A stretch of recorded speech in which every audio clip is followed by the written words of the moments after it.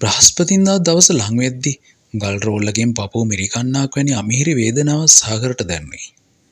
ශරීරයේ ලේවලටම සම්බන්ධ වූ අවය ලේනහර පිටින්ම ටිකටික ඌල්ලාගෙන යන්නක් වැනි රුදුරු වේදනාවක් ෝට දැනෙන්නට විය. අඟහරෝදරෑ කෑම පැකට් හදද්දිත් ඕගේ ඇස්සල කඳුළු විය.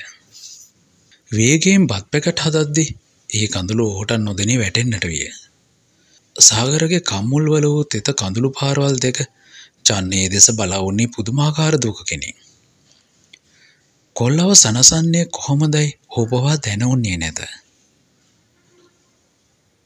මේවැනි මොහොතක කොතරම් හිත තදකරගෙන උන්නද ඒ නායන කන්දක් මෙන් නොසිතූ මොහොතක කඩාගෙන යන බව චන්න දැනවුන්නේ.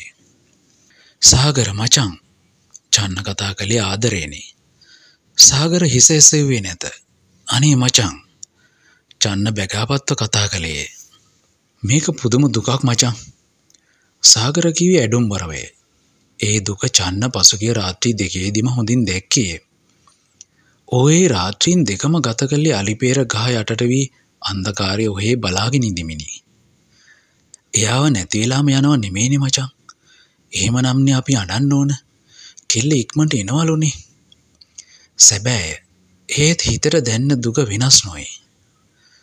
උඹ හිතන්නේ සපුනන්ගේ බොරුවක් කලා කියලද. එයා ගැන එහෙම හිතන එකත් පව්. ඒනම් චුට්ටක් චුට්ටක් හිතවම් මචා ඒකි මොනව කරන්නද. ඒත් උඹ ගැන හිතලා කෙල්ල අරවාගේ අවදානමක් ගත්තේ. ඔක්කොම දාල වෙලාවකෙයි ඒ පරිත්තාගේ ගැන හිතලා උඹට හිතා දාගන්නම වෙනවා මචා. සාගර අසරණුව චන්න දෙස බැලුවේ. නැගිටපං පුළුවන් ඉක්මට නැගිටපං කෙල්ල පාත්තනා කළේ ඒක. පුළුවන්නන් නැකිටල ඉක්මන්ට කෙල්ලට කතා කරපං දැන් ඉන්න කියලා. උඹට තේරෙන් නැද්ද? කෙල්ල මොකා එක්ක වුණත් ඉන්නේ ඒ වෙනකං කියලා. ඕ මන් දන්නවා.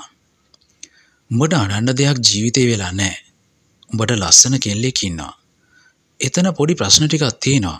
ප්‍රශ්න නැත්තේ කාගේ ජීවිතයේද මොන ප්‍රශ්නය තිබ්බත් ආදරය ගැන හිතපං ඒක මාර ලව් එකන්නේ සාගර සාගරය වගේනේ. චන්නගේ වචන සාගර තුළ අලුත් බලාපොරොත්තුවක් ඇති කළේ. එක අතකට හෝ කියන්නේ පුදුමාකාර ඇත්තක් නොවේද? මේ සියල්ලටම වඩා සිතියුත්තේ ආදරය ගැන නොවේද? උඹ හිතනවා කෙල්ල ඌට ආදරය කරයි කියලා. ඇත්තම කියපා නෑ. එය අහෙම කරන්නේ ඉතිං එලකිරි වගේ ශුවර ලව් එකක් තියාගෙන බ මොනවද මේ හිතන්නේ? ඇත්ත මැරි කරනවා තමා. ජීවිතයේ ඕවද මචං වෙන්නේ?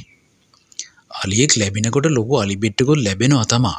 ඉවසන්නේ කෙන ගනේ චන්න සාගරගේ පිටාතගාමෙන් කීවේ සාගර අවසාන බත් පැකට් එක දෝතා පෙට්ටී තැපුවේ අද අපිටවත් බත් නෑ. සාගර සිනාසී කීවේ බිස්නස් හොඳනන් දංකුඩ කෑවත් මොකද මචා? මාළු ඇතිලි ඉතිරිවී තිබුණේ බොර ටිකක් පමණේ උඹ පැකට් එකක් තියාගෙන ඉන්දවල්ට සාගර කීවේ. ආ එතකොට උම්බාද දවල්ටත් කන්නෑ කන්න පිරියන් නෑමචා එහෙනන් මටත් බත්ත ඔන්නෑ උනුවෙන් පැටිස් ටිකක් ගේන්නද? ප්ලේන්ටි දෙකක් හදාගෙන කමු. සාකර සිනාසේ හිස වෙනුවේ. ත්‍රීවිල් එක ඒ මචං බලපන්ටිකා මං පටස්කාල ඇඟ හෝදගෙන එන්නම් අද නුවරගොස් රවමත් දාන්නට සාගරට සිතෙයි. මුහුණ බලාගන්නට එවිට පුළාංකමල් ලැබුණු ඇත. එහෙත් එවිට දුක වැඩිය. පපුුවට ලෝභකම දැනෙන්නට දැනෙන්නට හදවතර දැන්න දුක වැඩිය. සාගර එකතු කළ සල්ලිලින් රුපියල් පන්දාහ කතරගත්තේ. ම යන්නම් මචං කුෂිකර්මිටත් යන්න එපැයි. දොලා වැද්දි මං මෙතන. පොඩ්ඩක් හිටපම් මචා. සාගර චන්නව නවත්වා ගත්තේ. උඹ මොබයිල් ෆෝන් ගැන දන්නවාද? අම්මට සිරි මං මොබයිල් පප්පෙක්. මොනද උඹට දැනගන්න ඕන? රුපියල් පන්දාහකට අඩුවෙන් එකක් ගන්න පුළුවන් වේද මචං? චන්න සිනස්සුනේ කොල්ලා ජංගම තුරකථනයක් ගන්නේ ඇයිදයි චන්න ධනේ දීපන් සල්ලි මම එල ෆෝන් එක කරන්න එන්නම්. හොඳ සිම්ම එකකුත් දාගෙන එන්නම් ටෝටල් ඉන්කමින් ෆ්‍රී චන්න කීවේ සාගර මුදල් වුවත් තැබිය සිනා සෙමිනි. එයා යන්න කලින් නම්බර් එක දෙන්න ඕන. හරි. හවස්සෙදි නම්බ එක ඇක්ටිවේට් මචං. බය වෙන්න එපා.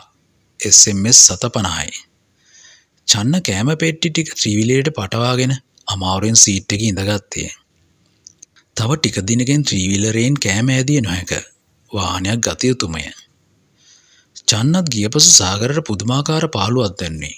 ඔහු කෑම පිසූ බඳුන් සියල්ලම සෝදා තබා මුළුතැන්ගේද සේදුවේ. හැමදාම කෑම පිසූ පසු සාගර පුරුද්ධකට මෙන්නේ කරයි. මිනිස්සු අනන්ත දුක් කරතර විඳ බත්පතක් කන්නට ගන්නේ පුදුමාකාර ගින්දරකිනි.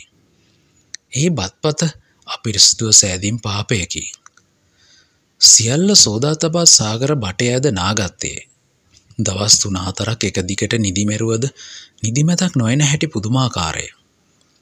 මේ දෙන්න තනිකම මේ දෙන්න පාළුව අනිද්දායන් පසු මීටත් වඩා රුදුරු ලෙස දැන්නු ඇත. ඇය විවාහවී යන්නේ කොහටද. කෙල්ල ඉන්නේ කොතනකද. සාගට පුදුමාකාර හේල්ලු මක්ගියේ. ඇය නැති ලෝ කොතරම් මඳුරුද පාලුද. ඒ සුවඳ නැතුව මේ ජීවිතය ගත කරන්නට හදවත කොහොමටවත් පුරුදු කළ නොහැක. එහි දෛවය කියන්නේ ඒ සුවඳ නමුතුව ජීවත්වන්නටත් පුරුදු විය යුතු බවයි. සාගර ප්ලේන්ටයක් හදාගෙනවී තැඳ මත ඉඳගත්තේ. එදෑ මේ කාමරට ආමහෝතේ තමාගේ සරමක් ඇඳගෙන උන්න අයුරු සාගරට මැවී පෙනෙන්නට විය. ආය කවදා එහෙම ඉන්නට ලැබේදැයි දන්නේ දෙවියන්ම පමණි.